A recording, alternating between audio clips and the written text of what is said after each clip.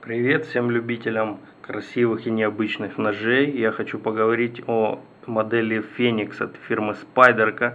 Это модель, которая была, э, выпускалась два года подряд, в 2009-2010 году. И была разработана э, фирмой Spyderco в сотрудничестве с дизайнером Говардом Виелем. Говарда Виэля, конечно, очень необычные дизайны. Это не первый раз, что он работал с фирмой Спайдеркой. Каждый раз э, ножи были очень неординарные. Ну и на этот раз это тоже не исключение. Очень необычный нож, очень красивый, на мой взгляд. Э, конечно, я лично считаю, что это сугубо какая-то коллекционная вещь. Но если кому-то очень хочется э, носить с собой такой дорогой EDC нож, то в принципе он справится со всеми задачами. Э, здесь визуально кажется, что рукоять намного-намного длиннее, чем клинок. На самом деле это определенный визуальный обман, я потом вам покажу на примере с деликой. Но, э, конечно, что-то есть, рукоять, конечно, длиннее. Э, длина рукояти здесь 11,5 сантиметров, а клинок 8,5 Нож лежит в руке довольно хорошо, даже не используя вот эту вот подпальцевую выемку, все пальцы у меня ложатся. Конечно, на обухе нет никакой насечки, но очень часто спайдерка отмечает именно коллекционные свои ножи отсутствием насечки, как бы подчеркивая то, что какого-то практического применения от них искать не стоит. Вот. Если хочется подобраться поближе, опять же, хва хваты очень удобные, очень. Нож весь стальной, хотя весит не очень э, много, он весит всего лишь 115 грамм, и для таких размеров э, это, в принципе, терпимо. Единственная не стальная часть здесь, это вот накладки из белой микарты по бокам. Микарта отлично обработана, гладенькая, э, очень приятная на ощупь. Покажу немножко сблизи. Можно посмотреть вот на насколько все подогнано здесь вот на рукояти. Карта, клипса.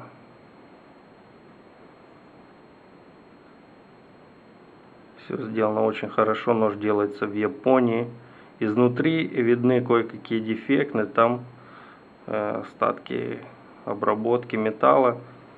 Но опять же, этот нож э, не выпускался лимитированным изданием, он выпускался на полную катушку. Поэтому такие мелочи здесь, в принципе, меня особо не тревожат.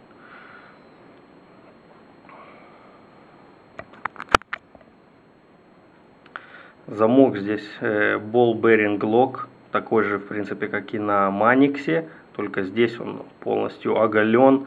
Э, видно абсолютно весь механизм запирания. Закрывается нож очень плотно. Ни намека на люфты вверх-вниз, вправо-влево совершенно. Рукоять такая очень в принципе, сбитая, потому что, ну, в принципе, стальная, понятное дело, в руке чувствуется очень уверенно. Осевой винт, кстати, регулируемый, это очень радует. Э, отличительная, э, отличительный знак Корда Виэля – это вот э, три маленьких точечки, три маленькие дырочки на клинке, которые он просверливает во всех своих моделях. Кстати, вот на клипсе тоже присутствуют эти три дырочки. И, естественно, вот такой вот знак самого дизайнера, его лого, его герб, возможно, с надписью VL. Нож делается в Японии из стали VG10. Клиночек обработан шикарно. Конечно, просто тут не к чему придраться. Толщина по обуху здесь 3 миллиметра. И толщина эта сохраняется, обратите внимание, практически, то есть здесь еще 3 миллиметра. Потом к кончику резкое такое схождение. Клинок на самом деле очень мощный.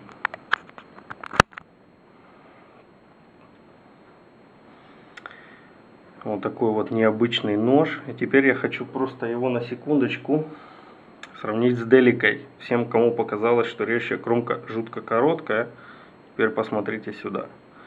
У них с деликой длина одинаковая, можно сказать, и длина режущей кромки различается всего лишь на 3 мм.